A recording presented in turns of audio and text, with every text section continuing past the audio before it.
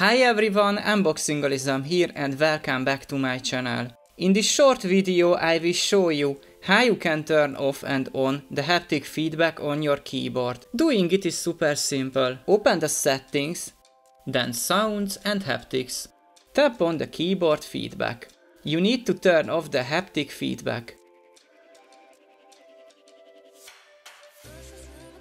To turn it on, just tap on it again. That's all I wanted to say about how to turn off and on the keyboard haptic. I hope this short video helped you out and you learned something useful. If you did, please consider giving me a thumbs up and subscribing to my channel. That would be really appreciated and would help my channel grow. Thank you and see you in the next one.